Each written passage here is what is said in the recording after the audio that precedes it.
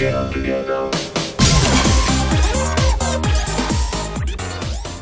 friends Mayapuri news reel में आपका स्वागत है। मैं हूँ सिमरन आइए देखते हैं बॉलीवुड की खबरें फटाफट। घर नहीं जा पाएँगी दीपिका। 13 जून को मुंबई के वर्ली इलाके में 33 मंजिला बिल्डिंग में आग लग गई थी। इसके 26वें फ्लोर पर दीपिका पादुकोण रहती हैं। आग लगने की वजह से दीपिका 10-15 दिन तक घर नहीं जा सकेंगी। ईद पर मुंबई में नहीं शाहरुख। फैंस को ईदी देने वाले शाहरुख खान इस बार ईद नहीं मना पाएँगे। शाहरुख खान फ़िलहाल फ़िल्म ज़ीरो की शूटिंग के लिए लॉस एंजलिस में बिज़ी हैं। हर साल ईद के मौके पर लाखों फैंस मन्नत के बाहर आते हैं और उन्हें ईद की बधाई देते हैं। सास के बारे में बात नहीं करती सोनम। सोनम ने कहा वो अपनी सास से बहुत फ्रैंक है। उनके बारे में ज़्यादा चर्चा ना करने पर सोनम ने कहा कि उनके ससुराल वाले अपनी निजी ज़िंदगी को निजी ही रखना चाहते हैं। वह बॉलीवुड से नहीं जुड़े हैं इसलिए वह उनके बारे में कोई बात नहीं करती। अमिताभ देंगे करोड़ों की मदद। अमिताभ बच्चन ने कुल दो करोड़ रुपए की मदद का फैसला किया है। एक करोड़ रुपए वह वीर गति को प्राप्त हुए सैनिकों के परिवार के लिए और एक करोड़ रुपए उन किसानों के लिए जो कर्ज के बोझ के तले दबे हैं। गरबा करते दिखे आयुष और वरीना। सलमान खान प्रोडक्शन की फ़िल्म नवरात्रि का टीजर रिलीज़ हो गया है। सलमान खान कहते हैं ये कहानी है प्यार और मोहब्बत की प्यार किया नहीं जाता हो जाता है। आयुष और वारीना दोनों गरबा करते नज़र आ रहे हैं।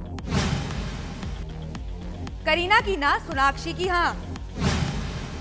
करीना ने आपला मानुस के हिंदी रीमेक का हिस्सा बनने से इनकार कर दिया है। फ़िल्म के निर्माता सोनाक्षी सिन्हा से बात कर रहे हैं। सोनाक्षी को फ़िल्म की स्क्रिप्ट काफ़ी पसंद आई है। जल्द ही फ़िल्म के निर्माता इसका आधिकारिक ऐलान भी कर देंगे। एक साथ ऐड नहीं करेंगे रणबीर आलिया। करण की माने तो अगर ये दोनों अपने रिलेशनशिप को फ़िल्म की रिलीज़ के आसपास एक्सपोज करेंगे तो इसका फ़ायदा फ़िल्म को मिलेगा। इस वजह से करण ने आलिया और रणबीर को साथ में एड साइन करने से मना किया है।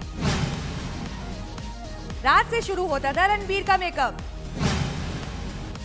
रणबीर ने बताया कि संजू का लुक लेने के लिए रात के तीन बजे उनका मेकअप शुरू हो जाता था।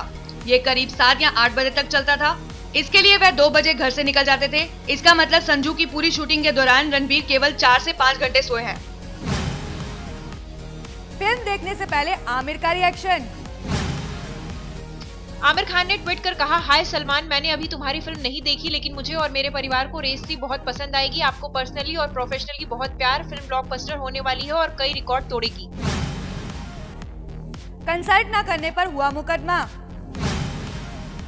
2013 में अमेरिका में एक कॉन्सर्ट का आयोजन किया गया था लेकिन इस कार्यक्रम को सलमान खान की वजह से कैंसिल करना पड़ा था। एडवांस में मिली रकम ना लौटाने पर सलमान कैटरीना सोनाक्षी प्रभुदेवा और रणवीर सिंह के खिलाफ अमेरिका में मुकदमा दर्ज किया गया है। शाहरुख ने सलमान को कहा शुक्रिया। शाहरुख खान ने ज़ीरो के सपने को साकार करने के लिए सलमान खान को शुक्रिया अदा किया। शाहरुख ने ट्वीट कर कहा भाई Salman Khan Javed Jaffrey Red Chillies VFX और आनंद एल राय को ज़ीरो सपना पूरा करने के लिए धन्यवाद। संजय रिलीज़ के बाद देखेंगे संजू। संजय दत्त के लिए उनकी बायोपिक फ़िल्म संजू की कोई स्पेशल स्क्रीनिंग नहीं होगी। संजय नहीं चाहते कि वो रिलीज़ से पहले इस फ़िल्म को देखें। ये फ़िल्म 29 जून को रिलीज़ होने जा रही है। ट्वीट करने पर नौकरी से निकाला। प्रियंका के खिलाफ ट्वीट कर कमेंट करने वाले दुबई के एक फाइव स्टार होटल के रसोइयों को नौकरी से निकाल दिया गया है। दुबई के जे डब्ल्यू मैरियट होटल में शेफ का काम करने वाले अतुल कोचर को होटल प्रशासन ने बाहर का रास्ता दिखा दिया है। जोरासिक वर्ड फॉलन का ज़बरदस्त collection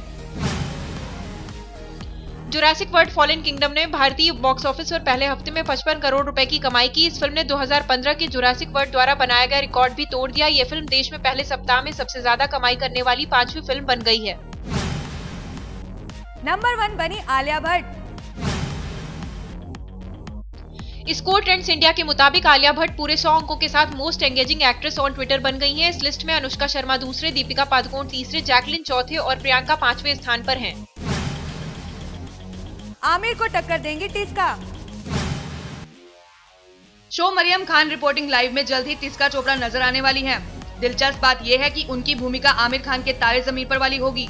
टिस्का मरियम के स्कूल में आर्ट टीचर के रूप में नज़र आएँगी। भोजपुरी फ़िल्म सन की दरोगा। रवि किशन की फ़िल्म सन की दरोगा का टीजर रिलीज़ किया जा चुका है। ये फ़िल्म महिलाओं पर हो रहे अत्याचारों पर केंद्रित है और फ़िल्म का मुख्य केंद्र बलात्कार है और इसे खत्म करने के लिए एक सन की दरोगा के रूप में रवि किशन को एक जल्लाद के अवतार में दिखाया जाएगा। मनवीर गुर्जर ने बनाया birthday. Bigg Boss winner Manveer Gurjar 31 साल के हो गए बर्थडे सेलिब्रेट करने मनवीर एक ओल्ड एज होम पहुँचे। यहाँ उन्होंने बुज़ुर्ग महिलाओं और अनाथ बच्चों के साथ अपना बर्थडे सेलिब्रेशन किया। मनवीर ने यहीं पर बर्थडे केक काटा और अपनी खुशियाँ इनके साथ शेयर की। मायापुरी न्यूज़ रील में इतना ही। कल फिर हाजिर होंगे। देखते रहिए मायापुरी कट।